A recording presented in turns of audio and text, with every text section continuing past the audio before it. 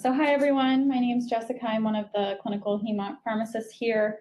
I'm going to be starting the day off talking about anti-metabolites. So our objectives for today will explain the mechanisms of action, indications, and side effects of anti-metabolites, and then we'll also talk about supportive care management for these agents. Um, so anti-metabolites interfere with the synthesis of DNA and sometimes RNA. Um, and certain metabolites actually interfere with the enzymes that are involved in DNA metabolism. Um, however, most anti-metabolites mimic nucleotides and either interfere with the polymerase reaction or get incorporated into DNA, um, and that subsequently creates a misread codon or interferes with later replication. All anti-metabolites require that the target cell be in the growth cycle um, and often are used in combination with other agents. So there are four different categories of anti-metabolites, and we will discuss each of these today. Um, this includes folic acid analogs, purine analogs, pyrimidine analogs, and hypomethylating agents. So starting off with our folic acid analogs, this includes methotrexate, pemetrexed, and pralatrexate. Um, so a little history on methotrexate. Um, folic acid was administered and found to be associated with a worsening leukemia. So they found when they reduced dietary folic acid that this actually improved um, leukemia outcome. So in 1947, uh, Sidney Farber and his colleagues evaluated the first antifolate aminopterin in pediatric ALL, and they found that this actually induced a remission. Um, so they subsequently developed methotrexate, which was approved in 1949. So how methotrexate works, it inhibits dihydrofolate reductase, which converts dihydrofolate to tetrahydrofolate. Um, so essentially create uh, inhibits the creation of reduced folates. Um, when we when there is an absence of reduced folates, this prevents synthesis of thymidylate and purine nucleotides and subsequently inhibits DNA and RNA synthesis. Um, methotrexate can be given orally, IV, and intrathecally. Um, has a very large dose range, anywhere from 5 milligrams to 2,000 milligrams per meter squared per dose, um, and also has many oncologic and non-oncologic indications. Um, when we talk about high dose methotrexate, this is uh, these are doses over 500 milligrams per meter squared. These doses are fatal unless we use what is called a leucovorin rescue, um, and we'll talk a little bit more about that in a bit. Um, we also have to give sodium bicarbonate fluids to maintain a urine pH at least seven or higher. Um, this is because methotrexate is insoluble in acidic environments, so we need to alkalinize the urine to avoid renal damage. Um, and that leucovorin rescue begins about 24 hours after methotrexate. Um, the other uh, supportive care piece we need to think about um, for delayed clearance with renal damage, um, and this is for significantly delayed clearance, and we'll talk about this in a bit as well, we consider an agent called glucarpidase. Uh, we also have a guideline that outlines all of these um, practices on UConnect for your reference. So going back to the urine alkal alkalinization, in an ideal world, we would like these patients to start this on the outpatient side before they come inpatient um, to receive their methotrexate. Um, so what we instruct them to do is to mix a half teaspoon of sodium bicarbonate or baking soda uh, four times a day the day prior to admission and then around 8 a.m. the day of admission. This essentially jumpstarts the alkalinization process. And then the goal is by the time they get inpatient, we can get the bicarbonate fluids going um, and hopefully their urine will be alkalinized sooner. We can get the methotrexate started sooner. Um, so here's those sodium bicarbonate fluids I was talking about. We run it at a rate of 150 mils an hour. We get this started as soon as possible from the time of admission. Um, typically runs about four hours prior to the start of methotrexate. Um, and we also have boluses available if the urine pH were to fall below seven at any point. The nurses are checking these urine pHs. They check three hours after the start of the bicarb fluids, and then two, four, and eight hours after the start of methotrexate, and then every eight hours until the methotrexate clears. Um, so going back to our leucovorin. So leucovorin bypasses dihydrofolate reductase for conversion to tetrahydrofolate, which is necessary for purine and pyrimidine synthesis. Um, doses that are above 25 should be administered IV for adequate absorption. Um, if we go above 25 with oral absorption, it's saturable uh, we're not going to see additional benefit. Um, it does not, so kind of a misconception, it does not increase methotrexate clearance. It just helps to minimize um, toxicities from methotrexate. Uh, we also have in that methotrexate guideline um, a table that describes the different methotrexate levels at the different time levels and what the action is based off of those levels and based off of the um, serum creatinine at that time. So options are no change um, to increase fluid and or increase leucovorin.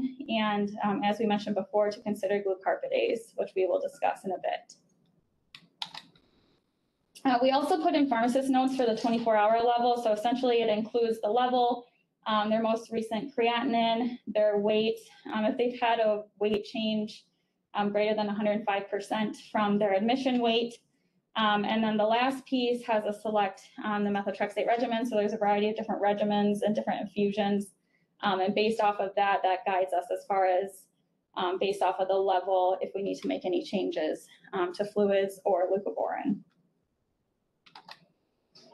So going back to glucarpidase or Voraxaze, this is a recombinant carboxypeptidase enzyme, which degrades folic acid and methotrexate into inactive metabolites. Um, it essentially provides a non-renal pathway for methotrexate to be cleared.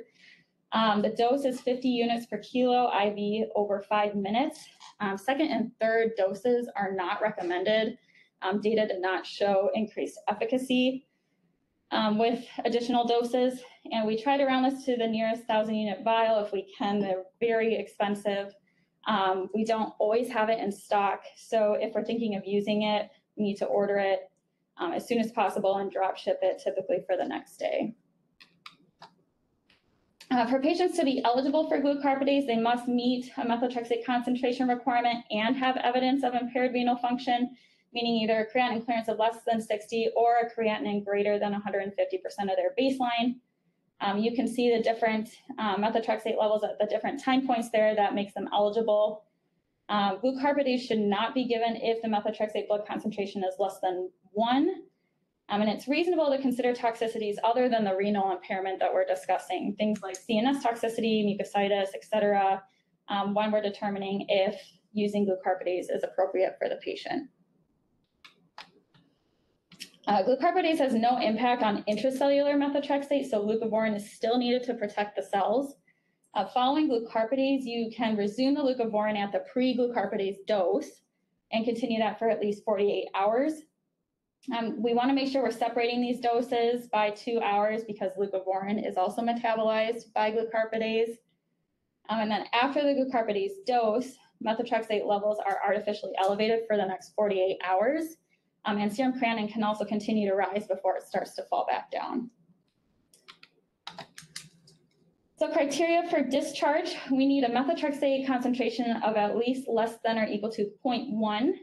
If the level is less than or equal to 0.05, we can discharge these patients without um, some of the supportive care agents that we've been discussing. However, if the level is 0.06 to 0.1, these patients should be discharged on leucovorin, um, oral leucovorin, as well as um, directing them to take the baking soda every six hours until they have their follow-up level drawn within 48 hours of discharge. Uh, things that can delay methotrexate clearance, uh, like we've been discussing, renal dysfunction. Um, third spacing is a big one as well. So patients with pleural effusions, ascites, or really significant edema um, can also have delayed clearance um, hepatic dysfunction, hypoalbuminemia, dehydration, and also a variety of drug interactions can interfere with clearance. Um, so there's a variety of ways that drugs can interfere um, with methotrexate clearance. One way is displacement of methotrexate from protein binding sites. This includes sulfonamides, so think like our Bactrim, um, salicylates like our aspirin, uh, phenytoin, and tetracyclines. Um, there are drugs that can increase urine acidity or reduce renal tubular transport. This would include folic acid, um, salicylates, and ascorbic acid. Um, there are drugs that can also compete for PGP transport, CYP450 metabolism, or renal excretion of methotrexate. So this includes our NSAIDs, penicillins, cyclosporine, ciprofloxacin, and amiodarone. Um, and then there are other drugs that prolong the levels that we don't really know how it happens, but we know that it interferes. So our proton pump inhibitors, omeprazole, pantoprazole, um, those need to be held during methotrexate as well. Um, other acid reducers like famotidine are safe with methotrexate. So the next folic acid analog is pemetrexed. Um, so this inhibits three enzymes that are involved in folate metabolism and DNA synthesis. And you can see them listed there. Um, again, we do have that NSAID drug interaction um, and can decrease clearance. Um, again, we have supportive care that we need to think about with pemetrexed. Um, this includes both folic acid and vitamin B12, and this is to minimize the risk of toxicities, particularly myelosuppression and GI toxicity. Folic acid ideally around a milligram a day starting a week prior to pemetrexed and continuing through treatment, as well as three weeks after the completion of treatment. Um, and then vitamin B12, 1,000 micrograms IM a week prior, and then every three cycles or roughly every nine weeks. Um, during the pandemic, I did see people use oral um, to, just to minimize the amount of times patients are coming in if the IM doesn't always overlap, um, and that was sufficient as well.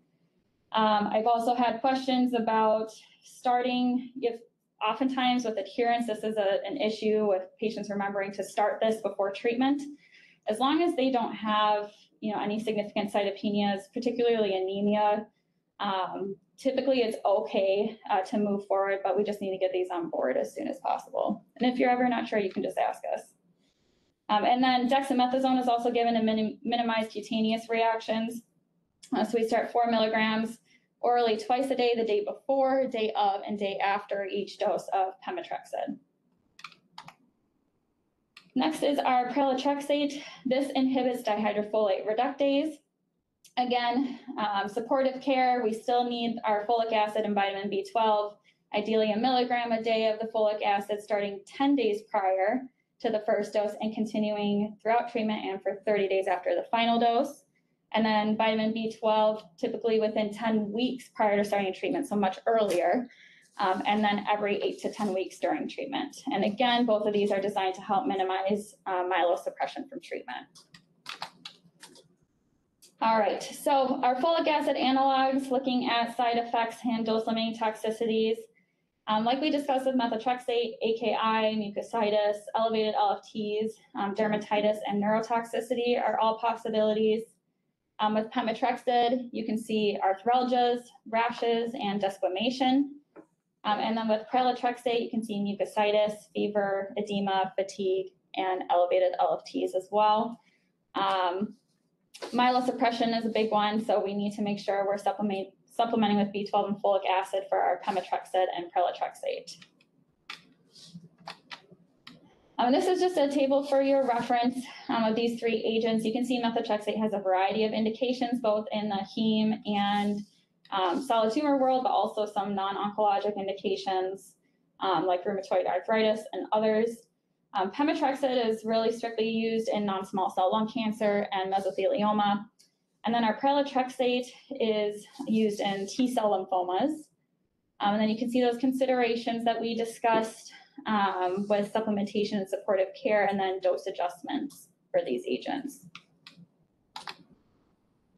All right, so our next uh, category of antimetabolites is our purine analogs. This includes mercaptopurine, thioguanine, pentostatin, cladribine, clofarabine, fludarabine, and nelarabine. We'll talk about each of these. So mercaptopurine or 6-MP and thioguanine are structural analogs of purine bases, which undergo conversion to substrates that get incorporated into DNA and subsequently inhibit, again, DNA and RNA synthesis.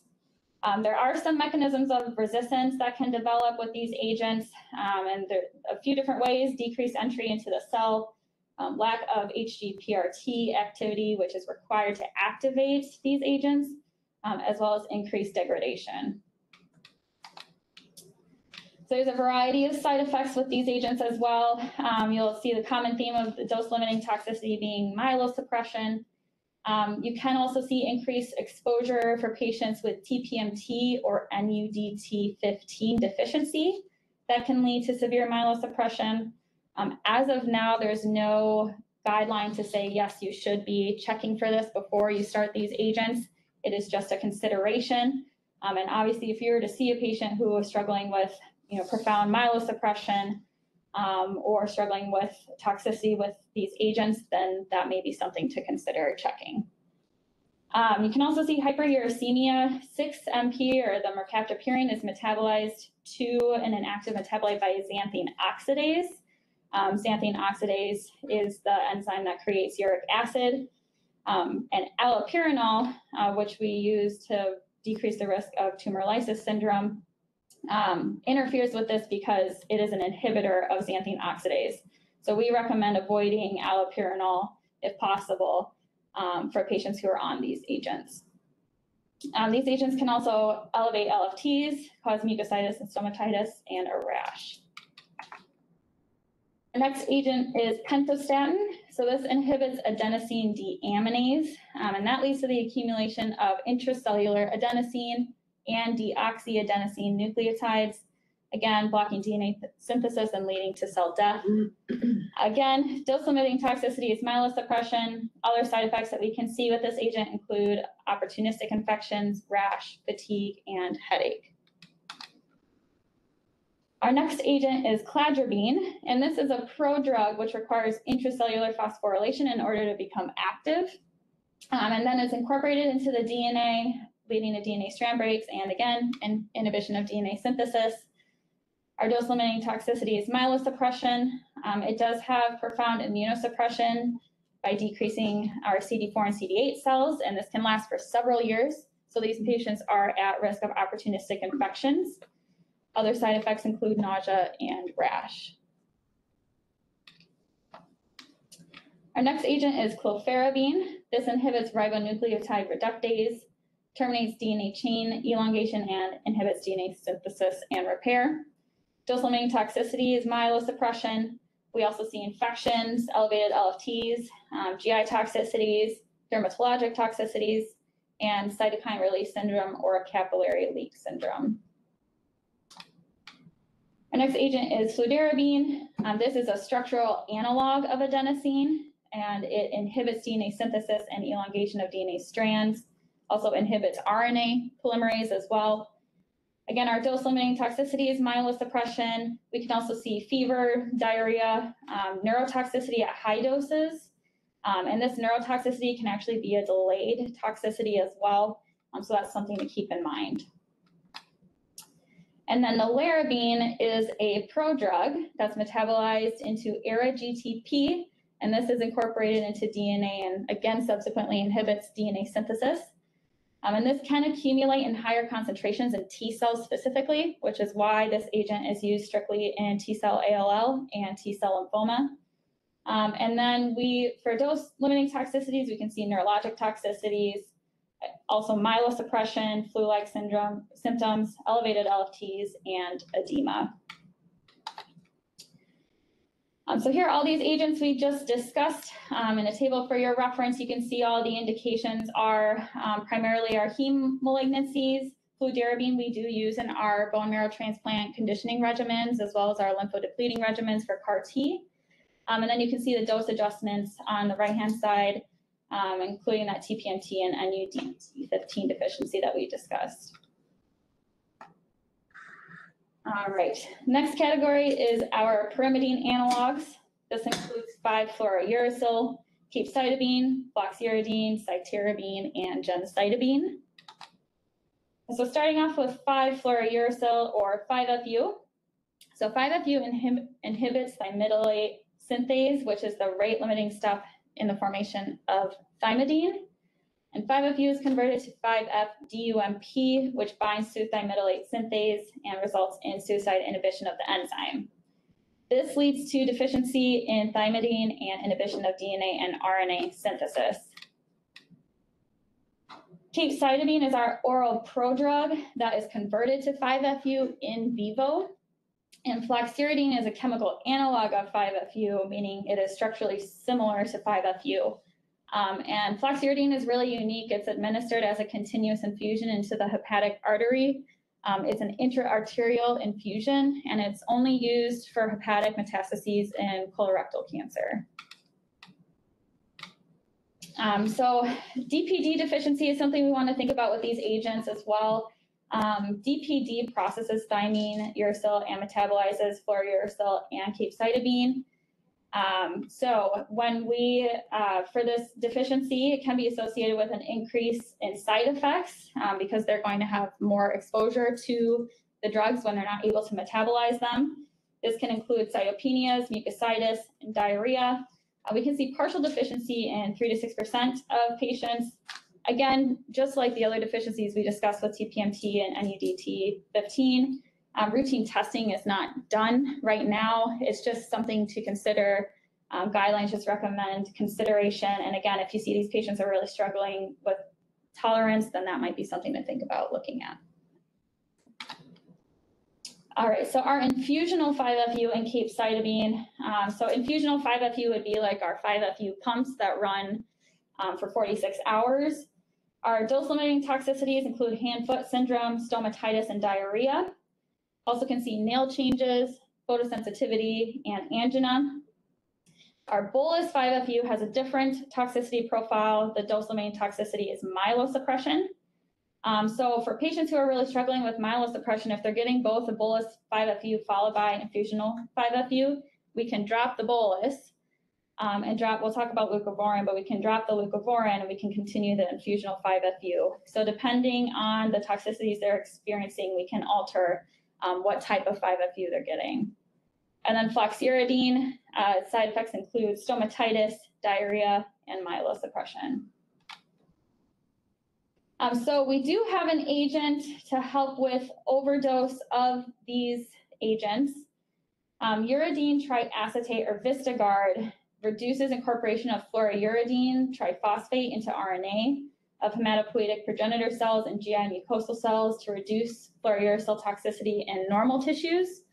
Um, so our restrictions for this agent, we can use this following fluorouracil or capecitabine overdose, regardless of the presence of symptoms, or when patients are exhibiting um, certain symptoms after fluorouracil or capecitabine administration.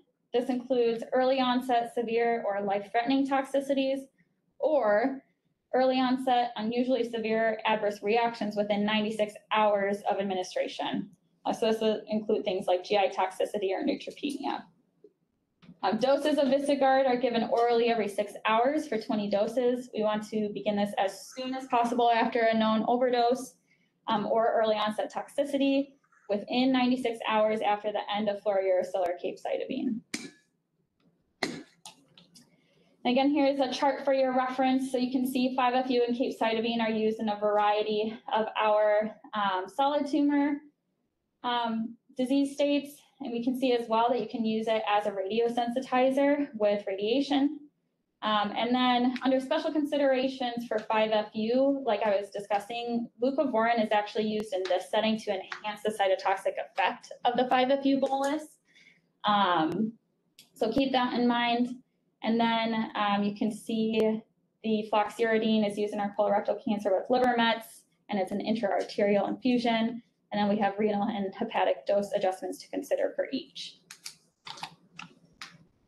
Next is our cytarabine or Ara-C. So this requires intracellular phosphorylation in order to be activated. Um, and it gets incorporated into DNA, inhibits DNA polymerase, and then blocks DNA elongation, again leading to cell death.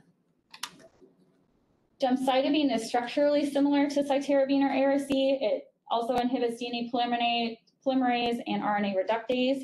It prevents DNA repair, contributes to DNA strand termination, and again, leads to cell death. Uh, so lo looking at the toxicities of these agents, both agents, the dose-limiting toxicity is myelosuppression. Um, with cytarabine or Ara-C, we can see rash, fever, nausea, um, there is something called cytarabine or Ara-C syndrome that can present as fever, muscle, bone, or chest pain, rash, and malaise. Um, our high dose Ara-C or um, our termed HiDAC, uh, these are doses 1,000 milligrams per meter squared or greater. We can see cerebellar toxicity with this. Um, so things like confusion, ataxia, drowsiness, they're required to have a neuro exam before each dose to make sure it's safe to proceed with the next dose.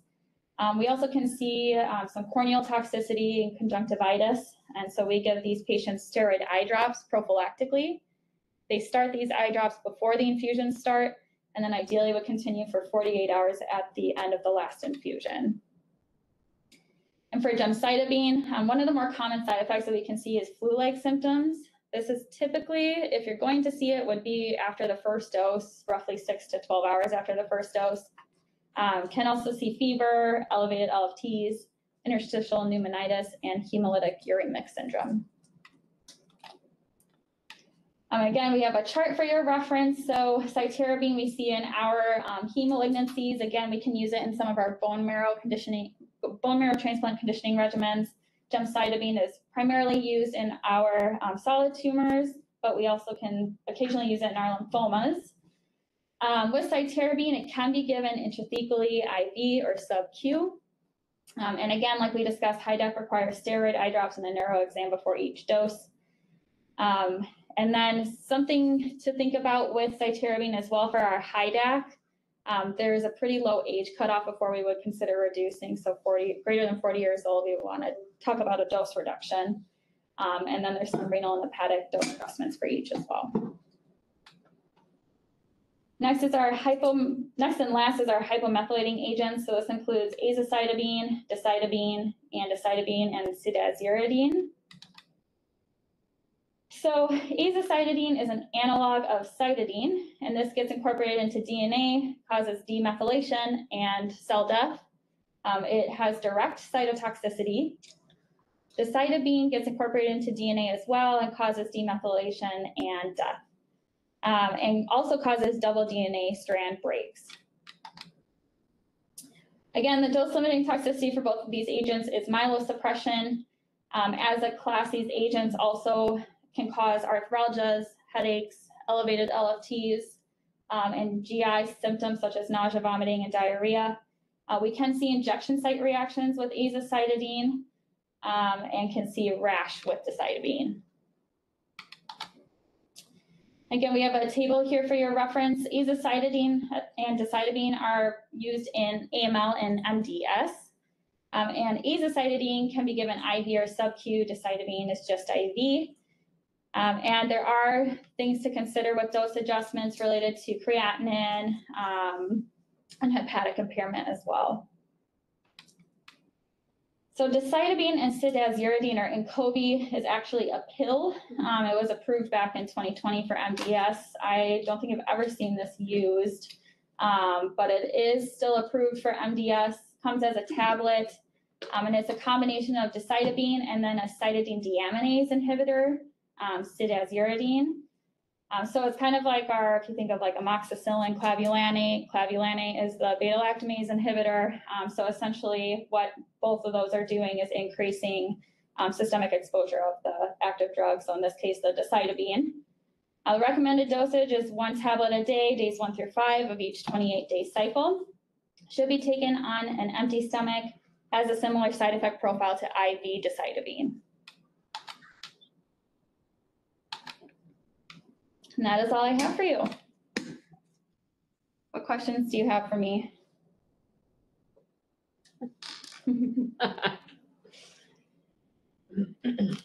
I have one quick question. This might be a little bit naive, slash, I feel like I should already know the answer to this, but I don't. Um, when you're dealing with 5FU and you drop the bolus, do you, it makes sense to just drop or in infusional leucovorin as well, right? If there's no bolus? Correct. There are some instances, Yes. right, Thanks. where you would keep the leucovorin on. I, I don't know who just asked the Dr. Abbott. question. Oh, who is it? Abbott. Okay, so there are some providers, Medox here, that will drop the bolus or drop the leucovorin because it makes no sense to boost a continuous infusion five FU based on half-life of leucovorin. But then there are others who feel like, why not? It's cheap, let's just keep it in there. So our practice here at UW is all across the board. As a pharmacist, I'm always a pro drop the leucovorin if you drop the bolus. Um, very interestingly, though, in pancreatic cancer, the neoadjuvant and adjuvant data for modified FOLFIRINOX, they actually did not have a 5FU bolus, but they had leucovorin plus a continuous infusion 5FU, which is just, I don't know why it was studied that way. Clearly, there wasn't a pharmacist on that research study.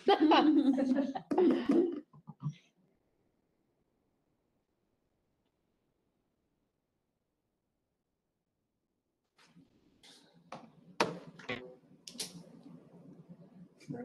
You wanna switch that? Yeah. All right, thank you, everyone. I know that's a lot of information in a short amount of time, but if you have questions, you can always reach out to us. Thank you. And your slide deck is up. And- Is it? Oh, My, thank you. Okay, I'm taking my mask off, folks. I cannot chat with a mask on. Some of you, this is probably your first time seeing my, oh wait, is it like Exit out and then, yeah. And on the bottom. on the bottom? On the bottom, on the bottom, on the bottom. Woohoo, okay. Not the display settings that Display. you duplicate. Yeah, perfect. I didn't know that. Welcome, everyone. Good morning. Um, happy Monday. For those who do not know me, I'm Liz Dow-Hillgartner.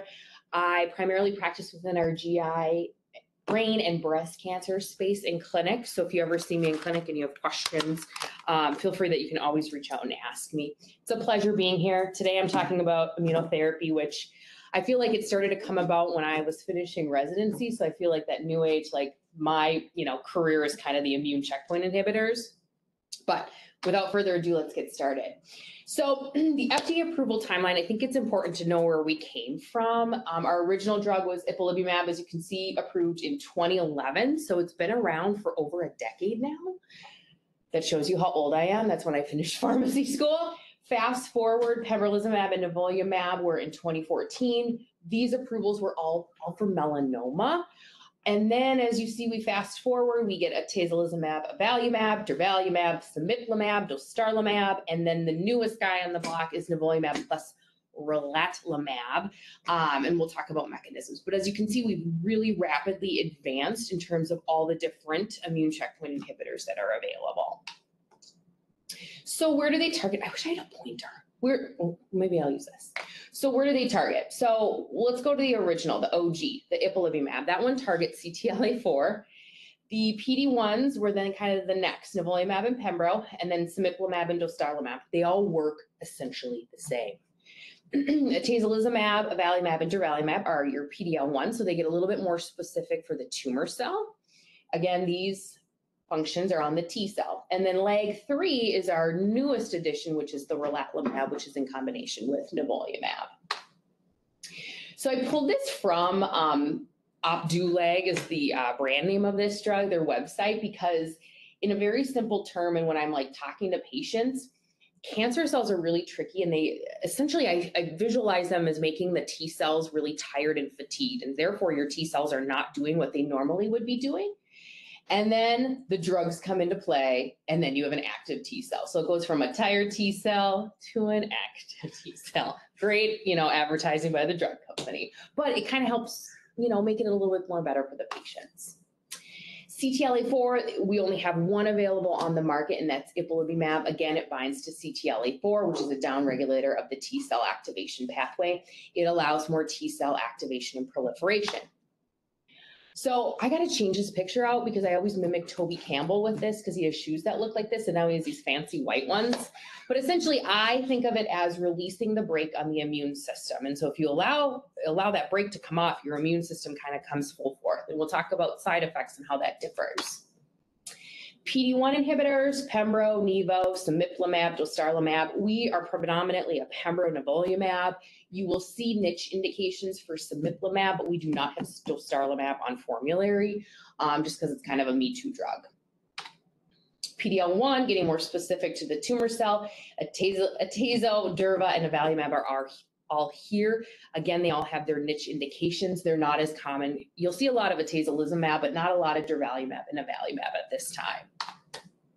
Okay, so I'm a Harry Potter, you know, I love Harry Potter, but when you're trying to talk to patients about this and how these drugs work and saying, oh, your immune system is going to be more active, well, I kind of visualize it as Harry Potter removing that cloak of invisibility. So especially patients around my age or a little bit older, they'll understand that. Older folks, I have to use a different analogy, but it helps patients to visualize kind of what they're thinking about. So Game of Clones, I don't know if anybody's watching the new, yeah. Um, all, it seems like all drug companies have a different PD-1, PD-L1 Here, all of them are listed. They all are trying, it's like the great fight, you know, to get that iron throne in a way of who gets the most indications, which it can be overwhelming if you're keeping up on the literature because these indications, these drugs, they seem to be changing so rapidly. And that's where this website comes into play. I won't actually go to the website, but um, I found this, I think it was last year that I actually found it, but if you go to it, it has these really nice grids where, you know, as you can see, this is, I, I had to crop it because I couldn't fit it all. But, you know, back in 2014 was when the melanoma indications were happening and there's different drug, the colors mean different drugs. But you can see all the different indications on the top and then the years kind of increases where the most recent would be your bottom. What's really nice is when you hover over that specific indication, you're going to find the literature or the study that was done for them. So you have all these different, you know, checkmate studies and keynote studies, and I can't keep track of those numbers. So this website has actually been a really good tool for me um, for looking up of what's been approved and what data it's based off of.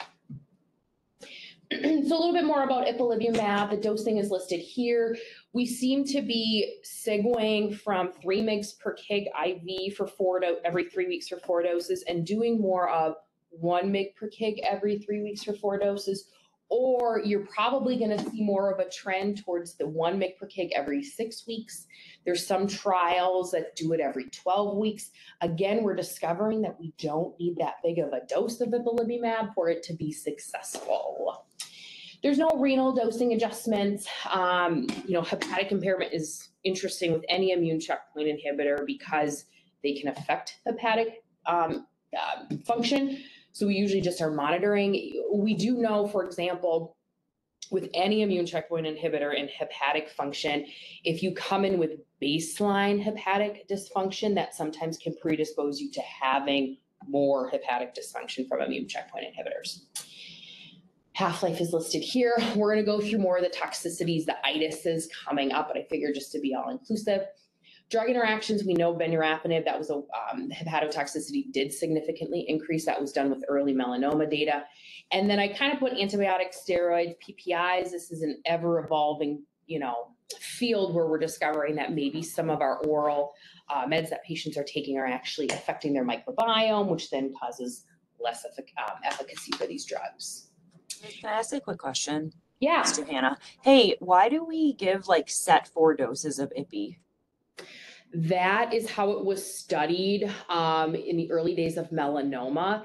Interestingly, some of the newer ones where they do it every six or 12 weeks, those do not have set number doses.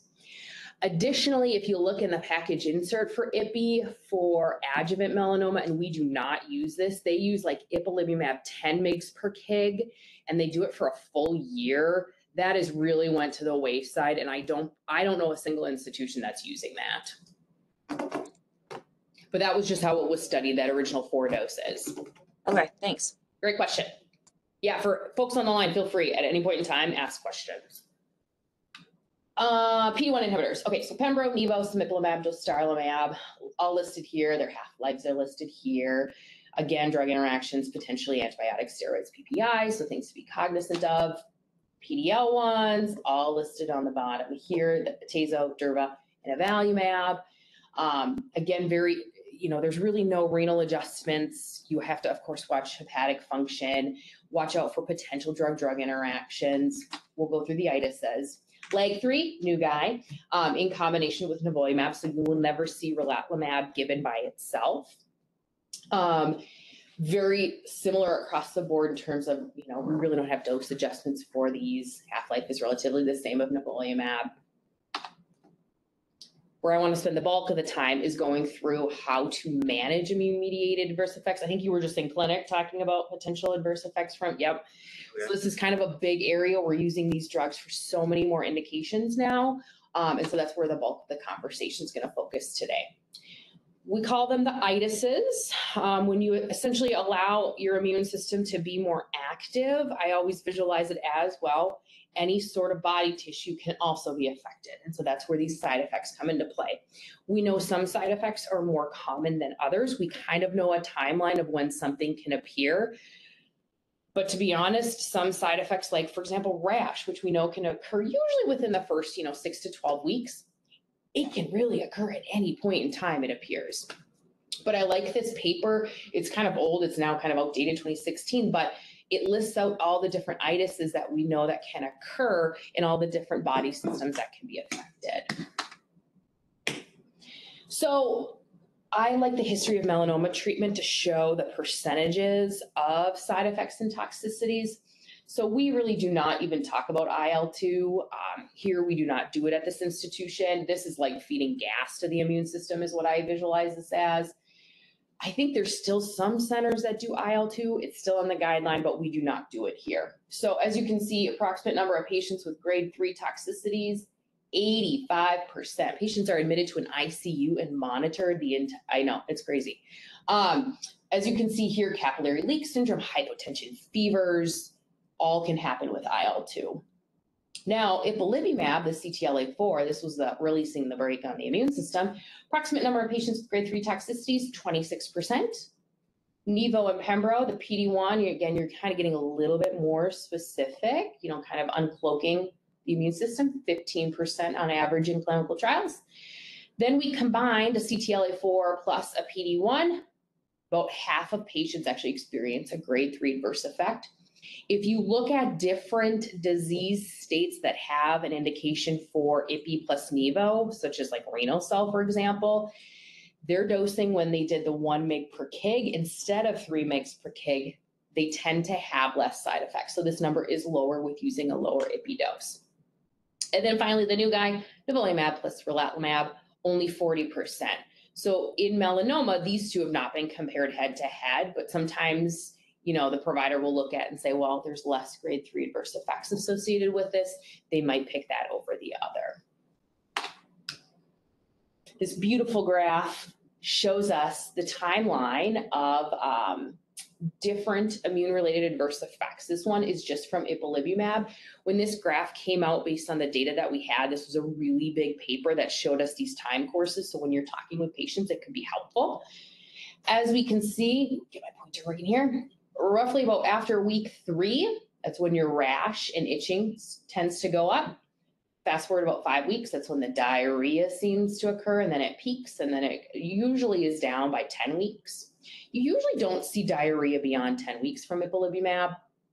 But then after six weeks is when you can see the liver toxicity and hypophysitis um, occur. Now with more data from PD-1 and PD-L1 inhibitors, here are some different graphs. So here's your original ipilimumab. Here's ipilimumab plus PD-1. You still have the same ipilimumab side effects, but we notice with PD-1s that they have sometimes their own unique side effects. Ooh, where's my, where's my thing here? Here is, you can see nephritis occur. You can see pneumonitis occur. Again, these are more associated with the PD-1 inhibitors. Liver toxicities, everything when we combined it is just more bigger and uh, higher percentage of side effects. PD-1 by itself, here's the nephritis. We really do not see that with ipilimumab. And here's the pneumonitis curve, things that you will see patients um, unfortunately develop from these therapies. I will say when people educate patients, you say, you know what, in general, these are pretty well tolerated compared to that more cytotoxic chemotherapy, especially with nausea, vomiting, blood counts. But um, I think some patients go away with thinking that they're never going to experience a side effect and then something happens and they're like, what? Um, and so kind of being cognizant of the itises when you do patient teaching is really important. I did find, um, side note, NCCN has a really good document um, for patient education on immune checkpoint inhibitors. So feel free to use that. We do use that in clinic for educating patients, especially about the itises and what to watch out for. Listed here on the slide is the monitoring. This is pulled directly from NCCN guidelines, which goes through what to monitor. There hasn't been a lot of big shifts in what we do. The biggest thing I would say in the past two years is we no longer um, have like amylase and lipase built within our um, treatment plans because it's not recommended to monitor those unless patients are symptomatic. But you will have built in your treatment plan, and we're trying to get them to all look and be the same. Um, you'll have cortisol, you know, your uh, T3, free T4, and you'll have your CBC and CMP built within those plans. So what do you do when your patient has a side effect? Listed here on the slides, we have a guideline at UW here, but it is, I would say, very outdated and we're gonna be referencing other out, um, external guidelines to follow because again, this field rapidly changes in terms of how we manage things. ASCO just came up with an, um, came out with an update, excuse me, in twenty twenty-one, so that's a really good reference to use. In addition to NCCN, uh, which uh, seems to update at least every six to twelve months for their immune checkpoint inhibitors. But the general principle of managing these, you gotta grade it, and then based on that's gonna tell you what to do. Usually if it's a grade one, you can continue therapy and just close monitoring. Grade two, you usually are holding, sometimes holding, sometimes continuing, and then you usually let things settle down and you can resume once it's uh, grade one or less. Steroids might be administered. Grade three or four, these are usually, um, usually the immunotherapy is held. If it's a grade four, it's usually a permanent discontinuation. And then this is when you're gonna see high dose corticosteroids used in addition to other therapies if the steroids aren't working. So let's go through some patient cases. So MJ is a 66-year-old female. She's newly diagnosed with metastatic melanoma. She presents to clinic for initiation of um, IPI and NIVO. There's her past medical history or past surgical history, nothing really too um, of importance there. Allergies, sulfa, she had a skin rash, she's intolerant to aspirin, she's a really hardy 66-year-old, she's a performance status zero. Medications listed here. She presents prior to cycle three of IPI and NIVO, um, and during the follow-up phone call, she reported a mild rash in her upper chest. We managed topically with hydrocortisone two and a half percent cream, occasional use of diphenhydramine. Today, she reports the rash has been increasing in size and remains itchy. So the assessment of it, she's a few scattered areas of rash on her upper chest, her abdomen, her arms, upper thighs, estimated to be about 15 to 20% of her BSA. So dermatologic toxicities is one of the most common ones, which is why I always like to talk about it. All therapies are implicated, although we do know anti CTLA4 and PD1s in combination have the highest risk of them. Onset is usually within the first several weeks of treatment, so it's something that when you're educating a patient, be very cognizant of rash, especially in the next, I always say like six to 12 weeks. Most common is a red maculopapular rash, um, sometimes itchy, sometimes not. And then it's really important for these patients with rashes to report in early if they're experiencing one, because that's going to help to like nip things in the butt sooner rather than letting things um, rapidly spread. So here, pulling from um, CTCAE is how you grade them. You know, looking at the BSA is really important to quantify in order to grade it appropriately. For example, grade two, your BSA is 10 to 30%. She had 15 to 20% of her body affected. How do you calculate? If you guys are not aware already, the rule of nines, kind of adding up the percentages across the body based on how much um, or where the rash is across the body and adding up those numbers up. So, what grade of toxicity is MJ experiencing? Two. I got a two from the audience. That's correct. B. So, what do we do about that? Listed here on the slide is pulled from NCCN. Um, and I did look at ASCO too. Their guidelines are, are essentially the same. Grade one, if you if you see this, you're use topical emollients and moderate potency topical corticosteroids. Avoid sun irritants or skin irritants and sun exposure. Oral antihistamine for itching. You can continue drug though in those patients. Grade two, essentially the same, but you're gonna bump to maybe doing a medium to high potency topical uh, corticosteroids. And then if a patient's unresponsive to topicals, that's when you might add a low dose prednisone, so 0.5 mg per kg per day. Guidelines really aren't clear on taper, but usually you would do a slower taper with those patients. But you can technically consider or um, consider continuing therapy. If you're at the point though where you're starting oral prednisone, I would probably hold and reassess in a week. And then grade three or four, biggest change, you're going to increase your uh, topical potency of your corticosteroid. And then you're going to be usually, if it's a grade three or four, you're going to usually see a bigger dose steroid, even though it's listed in the guidelines as 0.5 to 1. Most people tend to start with one and go from there. But then again, you're going to hold um, ICPI therapy and consult dermatology. We have an excellent oncoderm team here, so feel free if you have a grade three or four toxicity that's really severe to reach out to them. In the UW guidelines is this table, which I find excellent and I always reference. Um, it's actually the potency of co- common topical corticosteroids, the strengths, and then how they come. So very interestingly, I think a lot of people think hydrocortisone is a really uh, potent topical corticosteroid. It's not. I always think it's cute. It's the least potent, but sometimes 2.5% hydrocortisone cream works a lot, really well for people.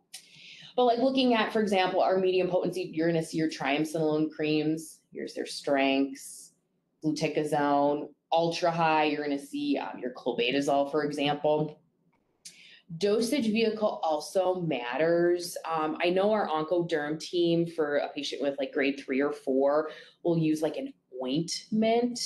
But if it's a grade two skin reaction and telling a person to slather ointment all over their body, most people are not happy with you. So just be cognizant of like where it is and what vehicle you're using because you want them to be using it, not not using it. Um, so there's different lotions and creams that can be just as effective. The ointments sometimes, of course, are really, really um, thick and greasy, and sometimes patients don't like to use those. So going back to MJ, it's grade two ICPI induced skin rash. We're going to hold for a week, start supportive care meds. Patient would like to avoid oral steroids. She says she gets really um, a, huge amount of anxiety from steroids, so she wants to avoid those. We're going to follow up in a week. So, based on her grade two toxicity and the fact that we're avoiding oral steroids, what would you recommend? Clobetasol and hydroxyzine, diphenhydramine and uh, topical cream and oral diphenhydramine, hydrocortisone cream and diphenhydramine, or triamcinolone and hydroxyzine.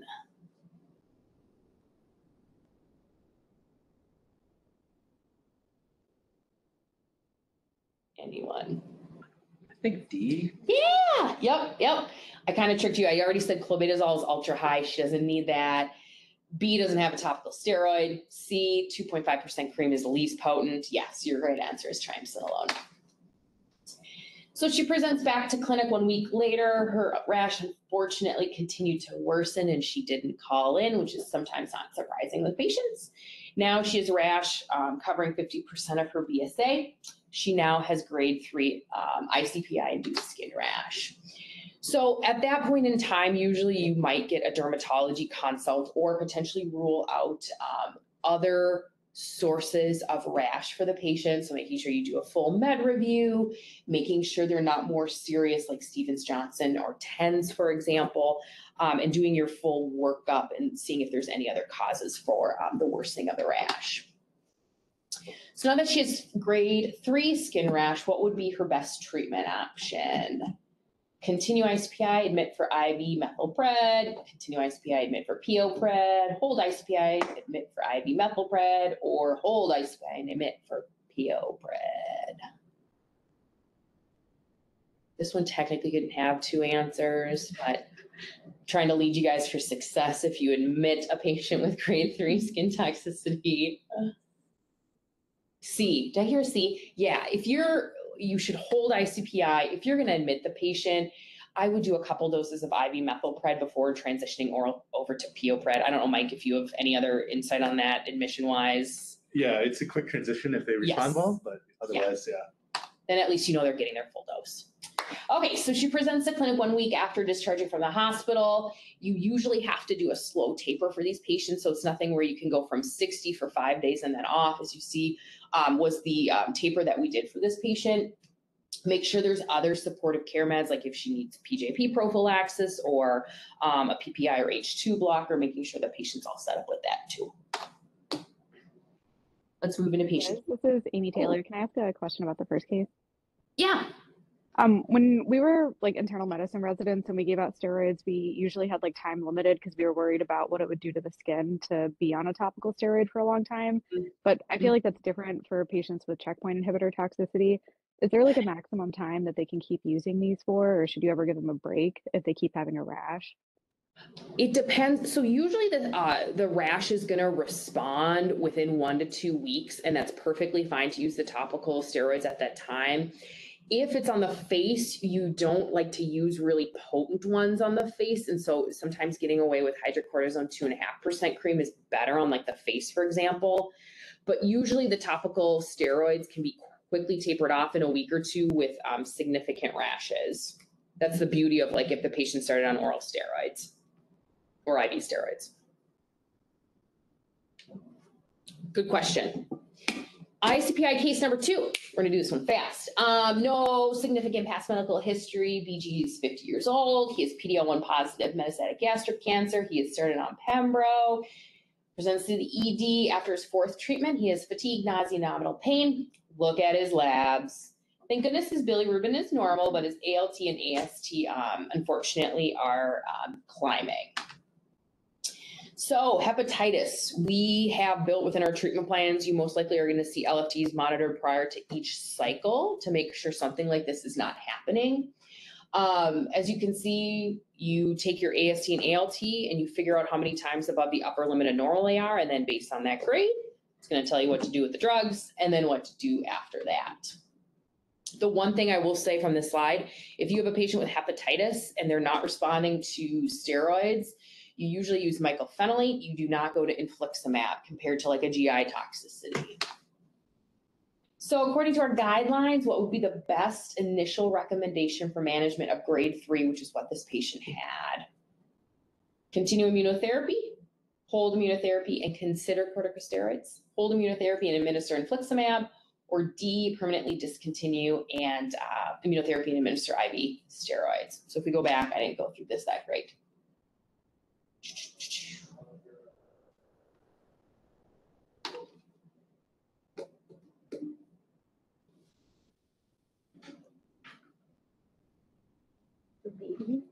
Wait, sorry, what did you say? Uh, B is in boy. Yep, yep. So you are gonna hold it and you're gonna most likely give steroids. Some providers will sometimes watch that, but most often you're gonna see them start steroids. So it's grade three, we're gonna hold, we're gonna initiate prednisone one to two. Follow, um, monitor LFTs every one to five days, and then you taper prednisone over four to six weeks. Although in some cases, you might see that taper done longer based on what the LFTs were. So I got two minutes. So my experience way back when in 2014, I love to tell this story. I had a patient who was found down unconscious by her husband. She was transferred to a local hospital, so not our healthcare system, which is where she got her cancer care. She had a delayed diagnosis of DKA and adrenal insufficiency because they had no idea that she was on an immune checkpoint inhibitor. Her husband didn't even know. She was extremely private and didn't like to tell folks. That's a different scenario to go through. But it resulted in a 14 day hospital stay. Again, not all systems are connected. So this was actually when I was at the Mayo Clinic and it was a really small hospital that this patient was admitted and they didn't have access to our records. So she was being treated with pembrolizumab. They didn't know what drug she was getting, which helps dictate, again, if they knew she was on pembro, they might be, might have been looking for different side effects. Um, and then there's this long delay in identifying that the patient was on therapy. She had a new onset of type 1 diabetes and adrenal insufficiency, and these were all related to her pembrolizumab. So based on that um, scenario, we developed a program back here in 2017 where your clinic pharmacists meet with all patients who start immune checkpoint inhibitors. The biggest thing is that we reinforce any teaching on what to watch out for side effect wise, and we give them all wallet cards. That wallet card contains the drugs that they are, the drug that they are on, their provider, and contact information to call here if something happens. The back of the wallet card contains side effects to watch out for. So if the patient's ever wondering, eh, should I call in? Like I'm having diarrhea, it's going to help to dictate what they do with that. So again, we've been doing this for almost five years now, which is really, really crazy. Um, based on pilot program with two and a half years of data, we discovered that pharmacists were um, discovering over half of the side effects because usually we could catch if a patient was having a skin toxicity or diarrhea, for example. Now that this there's rapidly evolving landscape and a lot of different cancers have immune checkpoint inhibitors as part of their treatment, we're kind of seeing what we should do next in terms of helping patients with this, but just know that pharmacists are really actively involved with immune checkpoint inhibitors in clinic. Um, final ICPI thoughts. It's sometimes not just an ICPI drug, but it can become in combination with oral oral cancer therapies or cytotoxic chemotherapies, which sometimes can make teasing out what side effects are what um, a little bit more difficult and challenging. Our treatment plans, um, you'll be able to search within HealthLink to find all the treatment plans related on the indication. As you can see here, for example, the first one listed, there's, uh, Pembro has a broad indication of patients who have MSI or are MSI high or mismatch repair deficient. That's like a blanket one. So if you see a patient, that's its own specific treatment plan.